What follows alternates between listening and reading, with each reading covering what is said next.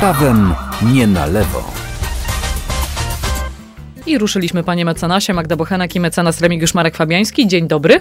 Dzień dobry pani, dzień dobry państwu. To nasz cotygodniowy program z prawem nie na lewo i w nim omawiamy różne tematy, które państwa interesują, a dziś porozmawiamy o zbliżających się feriach. 24 stycznia ruszą ferie w województwie podlaskim, a jeżeli ferie, no to myślimy, gdzie by tu pojechać, chociaż e, patrzę, że już coraz więcej jest doków narciarskich otwiera się w okolicy, bo mamy jeden pod Łomżą, ale kilka jest też na Mazurach, ale wyjeździemy również w góry, jeżeli chodzi o narty i o te zimowe takie sporty, panie mecenasie. Dlatego dziś pan mecenas tu mi podpowiedział, że fajnie by było, gdybyśmy porozmawiali o tym, czy są przepisy na stokach narciarskich. No właśnie, bo tak myśląc, że jedziemy na ferie, kojarzy nam się to tylko z rozrywką, z odpoczynkiem, a nie myślimy, że na takim stoku musimy się odpowiednio zachować i że są odpowiednie przepisy, które, do których których musimy się, panie mecenasie, stosować. Czy jest coś takiego jak prawo na stoku?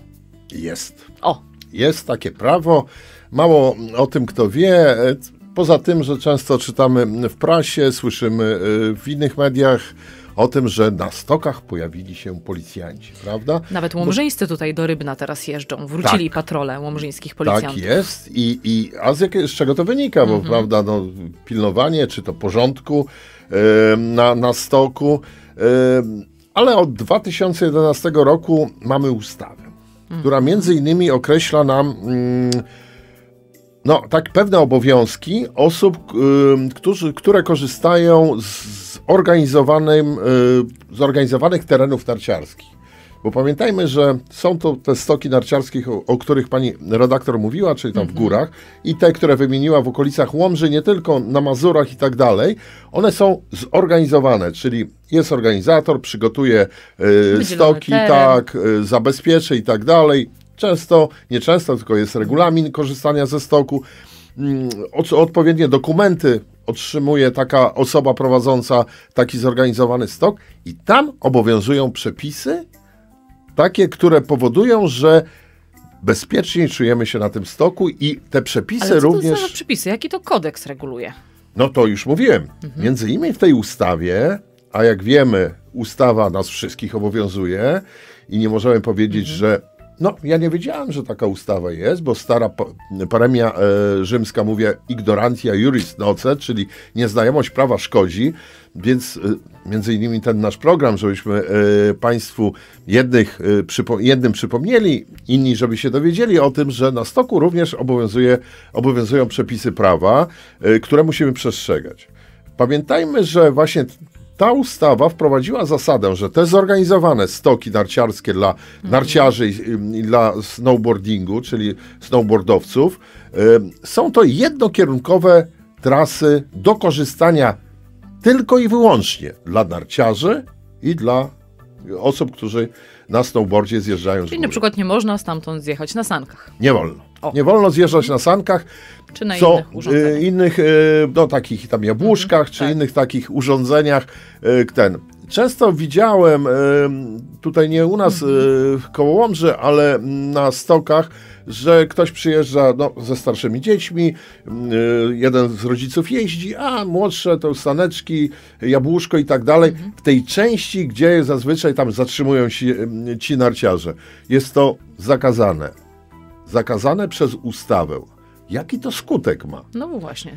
Co możemy dostać mandat za to, że nasze dziecko zjeżdżało na sankach ze? My ciągle patrzymy przez pryzmat, a ja z tym walczę, mhm. z tym mandatami. Bo to jest Bo tak, tak zwana dolegliwość jednorazowa. Ale spójrzmy mhm. na ten problem trochę szerzej. W sytuacji takiej, kiedy dojdzie do kolizji między osobą, już nie mówię, że dziecko mhm. jest malutkie na tym, e, na tym jabłuszku i rodzic, który się nim opiekuje, ponosi odpowiedzialność za to dziecko, ale również wyrządzi szkodę, bo ktoś się przewrócił, złamał nogę, wtedy ewentualne odszkodowanie będzie kierowane do tego rodzica, który nie sprawował należytego mhm. nadzoru nad dzieckiem poprzez to, że do, dopuścił do jeżdżenia na sadeczkach czy tym jabłuszku w miejscu, no dobrze, gdzie... A nie te... organizator stoku, który nam powinien zapewnić właśnie i widząc e, coś takiego, to powinien poprosić o zaprzestanie. E, Jeszcze raz powiedziałem, te wszystkie, e, te wszystkie mhm. miejsca mhm. mają ograniczony dostęp. W związku z tym organizator na pewno, jeżeli byłby to stwierdził, że coś takiego i usuwa takie osoby.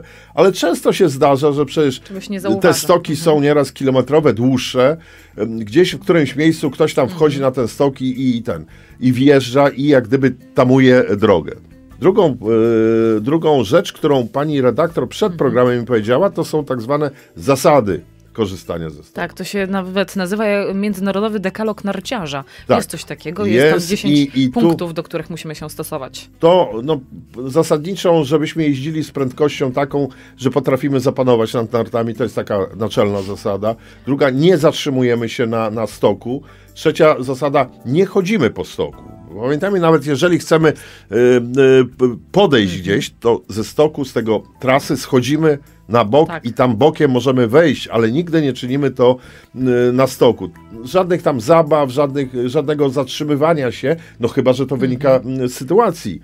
Ale tak, i to też są zasady, które powodują, jeżeli je naruszamy, ewentualna odpowiedzialność już może nie karna, ale cywilna, y, również spoczywa na osobie, która te zasady naruszyła. A panie mecenasie, jak to jest z kaskami? Bo wiemy, że dzieci powinny jeździć w kaskach. Czy dziecko to też jest 13-letnia osoba, 15-letnia osoba? I jak tutaj właśnie zachowywać się, jeżeli chodzi e, Ustawa o kaski? wprost o tym mówi. Do 16 roku życia obowiązek jest korzystania z kasku i to bynajmniej nie kasku y, jakiegoś sobie tam znajdziemy. Musi być to kask konstrukcyjnie przeznaczony do jazdy na nartach czy y, snowboardingu. Czyli nie może to być, prawda, nieraz y, zdarzyło mi się, kask. widziałem. Motoryza- tak, motorowy. motorowe, czy tam kaski takie dla dzieci, zabawki, mały budowlaniec i tam kask na głowę. I ta... Nie, to, to jest wykluczone. I pamiętajmy, że tutaj są dwa przepisy karne, które O. te sprawy również regulują. Między innymi Mhm. taki, że opiekun, bo do 16 to nie tylko rodzic, to mogą być nauczyciele, którzy mm, w trakcie tych dziecko na, szkół tak, ferie, i dopuścili pół- do półkolonii. jazdy osoby poniżej lat 16 bez kasku, y, ponosi odpowiedzialność za wykroczenie, czyli może odpowiadać y, mandatowo Mhm. w trybie mandatowym, czyli krótko mówiąc, mandat może policjant y, wlepić, a jeżeli się nie zgadza, no to będziemy mieli sąd.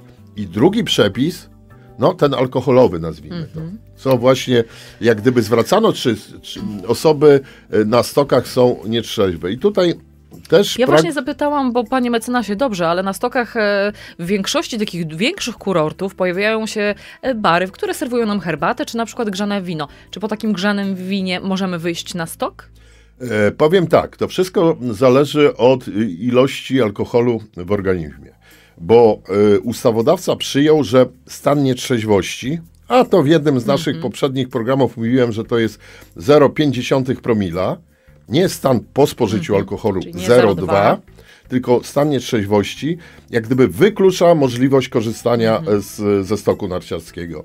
Mm, Więc jeżeli ktoś wypije no, szklaneczkę y, grzanego wina, żeby się rozgrzać y, i korzysta, na pewno nie przekroczy 0,5, no, a w pozostałym przypadku. A jak jest ze środkami odurzającymi? Bo tutaj wie, chyba to jest zupełnie wykluczone, zresztą Tak. zawsze to jest zupełnie wykluczone, ale tutaj też po, podkreślamy, że policja ma prawo na stoku to sprawdzić. Ma sprawdzić i tutaj jakiekolwiek e, funkcjonowanie, no, jeżdżenie na nartach czy na snowboardzie pod wpływem środka odurzającego jest również karane. Mm, Podobnie jak jazda pod wpływem alkoholu, znaczy nie pod wpływem, w stanie nietrzeźwości. Ale panie mecenasie, oprócz tego, że policjantów na stoku mamy, to pojawiają się ratownicy. W górach Gopru e, tutaj e, też ratownicy medyczni. Czy e, stok ma obowiązek właśnie zatrudniania takich ratowników, żeby był zawsze na stoku? Bezpieczeństwo jest przede wszystkim, więc na pewno podpisane są umowy, nie tylko na zasadzie takiej, że obsługuje ten dany stok, ale wszelkiego rodzaju zdarzenia, które są na danym stoku. Odpowiednie zabezpieczenie leży po stronie organizatora takiego stoku, więc myślę, że to wynika zresztą z tej, ustawy, która nakazuje odpowiednio przygotować, między innymi w sytuacji wypadków. I pamiętajmy tutaj taki apel do użytkowników. Wśród tego dekalogu yy, u- Mam tu go przed tak, sobą, tak? jest jak, e, informowanie o e, wszystkich Tak. zdarzeniach, które na stoku się zdarzą z udziałem e, no, narciarzy. Może to być na przykład nawet osoba, która weszła wbrew prawu na, na stok, a doznała jakichś obrażeń. Nam się wydaje, musimy natychmiast no, zabezpieczyć tę osobę, spowodować, żeby no, inni narciarze nie wjechali Nie na nią, a z drugiej strony wezwać pomoc, żeby udzielić jej pomocy medycznej. Więc drodzy Państwo, jeżeli wybieracie się na ferie, to my tutaj z panem mecenasem radzimy, żebyście się zapoznali z tym między- międzynarodowym dekalogiem narciarza i z tym właśnie prawem i żebyśmy pilnowali swoje pociechy, żebyśmy wszyscy bezpiecznie ferie spędzili. Panie mecenasie, pan gdzieś na ferie wyjeżdża? E, Wyjeżdżam do pracy. O, czyli tak A jak konkretnie chodzę, dlatego że od wielu, wielu lat nie korzystam z samochodu, tylko pieszo. ja. Tak, niedaleko Radia Nadzieja pan e, tutaj e, ma swoje, e, swoje biuro, więc e, pan mecenas do nas na pewno w ferie przyjdzie i dla Państwa będziemy mieć e, Wielką kolejne tematy. Tak jest, panie mecenasie, dziękuję za rozmowę. 10 minut zostało nam do godziny 11. O 11 oczywiście, jak co godzina na naszej antenie wiadomości z kraju, świata i regionu. Magda Bochenek i mecenas Remigiusz Marek Fabiański w programie Sprawę mnie na lewo. Panie mecenasie, dziękuję i do usłyszenia. Ja również serdecznie dziękuję. Z prawem nie na lewo.